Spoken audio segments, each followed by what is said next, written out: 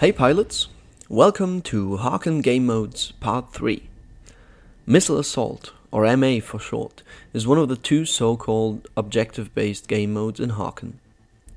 First of all, I would like to declare that everything I suggest in this video is purely based on my own personal experience and can in no way automatically guarantee your success in game. Though, let's start with the stats. Missile Assault games are only played on 12 player servers, private service accepted. And there is no time limit. Now each team has a base with 1500 health points.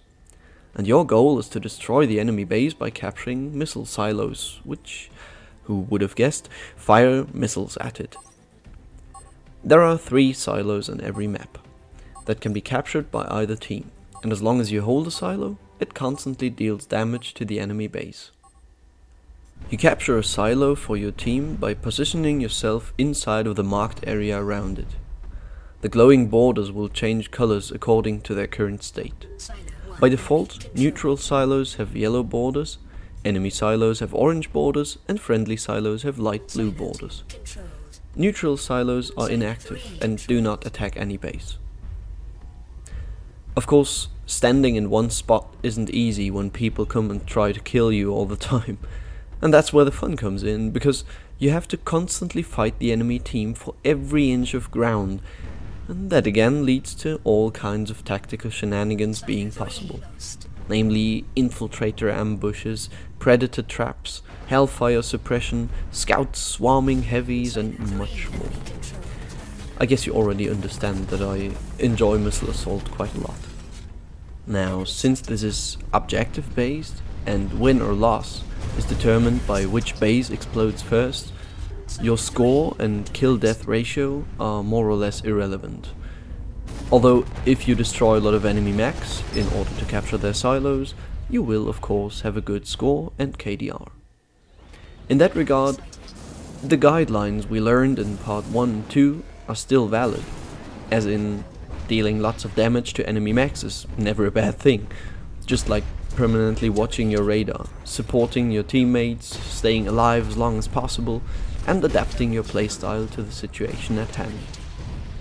In fact, being able to adapt is probably the most important skill to possess here. Now, how do you win a match of Missile Assault? Primarily, stay within range of the silos you are trying to capture or defend, even during engagements. I've experienced way too many situations, neutralizing an enemy silo with a teammate at my side, but instead of repairing inside of the silo area, helping me capture it quicker, he would stand just one foot outside of it and press C. So theoretically you want to kill all the enemies and capture all three silos. It's simple as that. In practice though, and in well balanced matches especially, this is almost never possible. Of course, if the opportunity arises, go for that triple cap. No holds barred. But generally you want to concentrate on capturing and holding 2 out of 3 silos, since 2 are easier to defend than 3, and you don't necessarily need all 3 to win. The way to do that effectively is a different one for each map, but I'll go over that later. First up, team tactics. There are three archetypical strategies for capturing silos. I call them the Death Ball, the Squad, and the Lone Wolf. You already know the term Death Ball from team deathmatches, and there isn't really any difference here. All six players of one team stick together closely and move from silo to silo as a whole.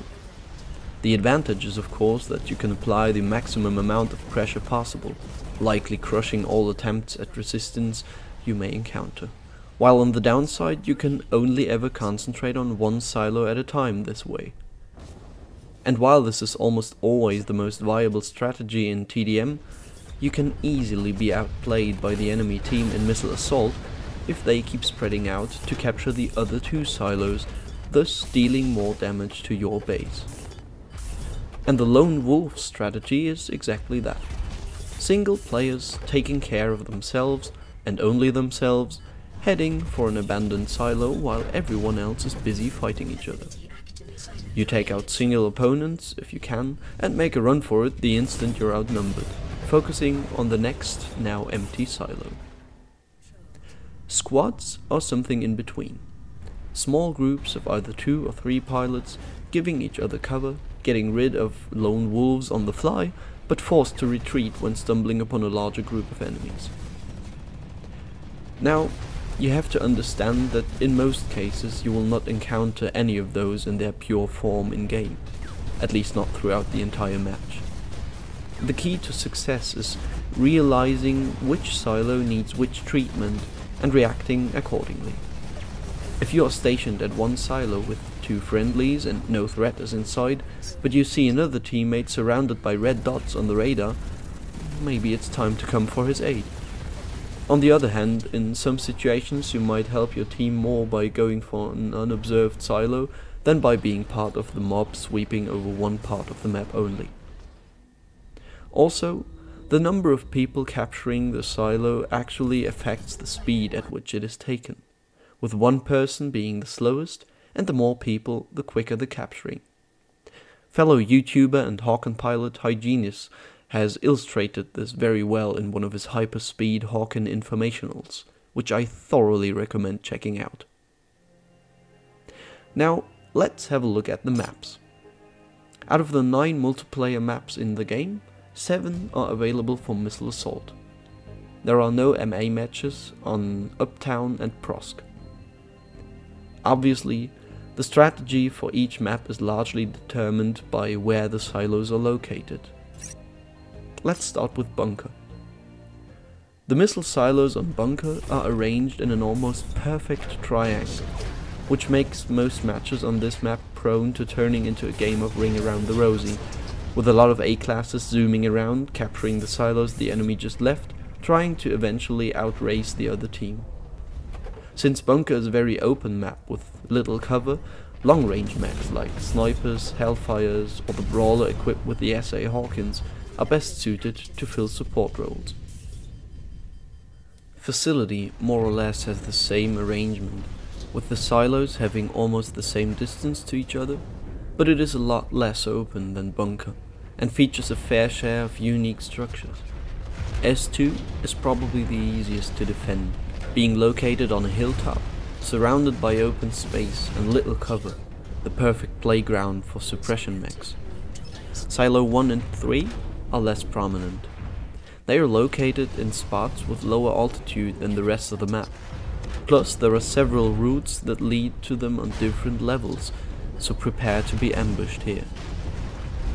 Another map with a triangular arrangement of the silos is Last Eco, this one again doesn't feature too much cover. Unlike Bunker though, the distances here are quite long, which often results in engagements on the way from one silo to the next. The challenge on this map may well be to decide whether intercepting is worth the effort, or if letting one enemy pass and setting off to another silo where your help is needed might be more effective. On all the other maps, the silos are arranged in a straight line, namely Bazaar, Frontline, Wreckage and Origin.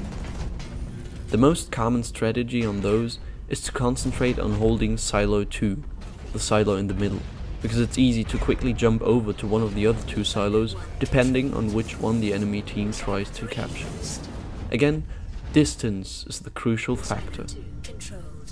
On Frontline and Wreckage, Silo 2 and 3 are quite close, so it's the most obvious decision to try and hold those two.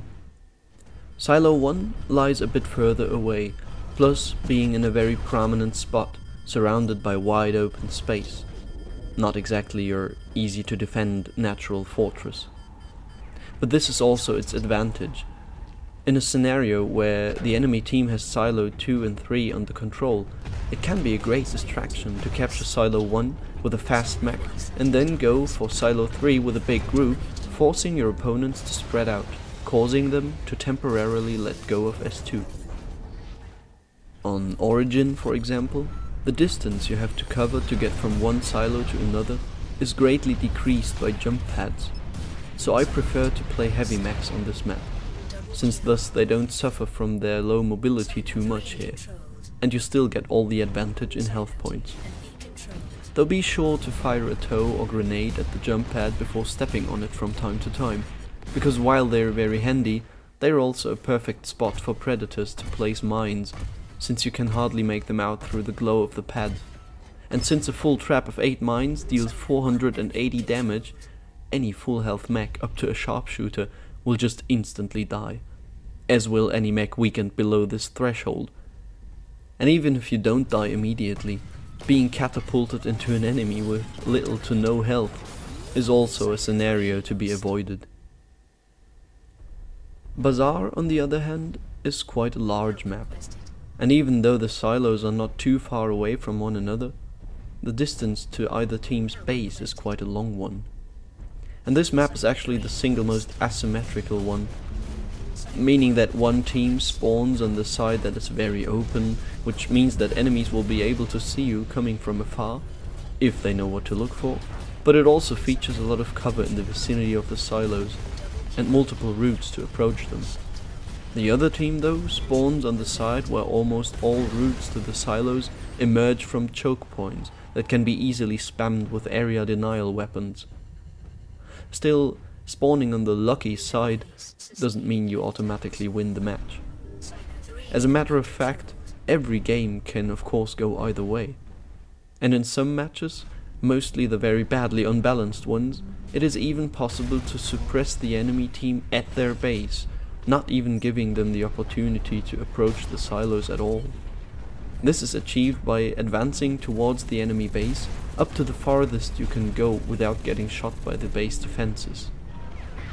Though of course, we all hope for balanced matches at all times, and the thrill of a missile assault game lies in the constant struggle for ground until the last second when the final missile goes off and everyone's finally able to breathe out again and types GG, good game with glee or fury.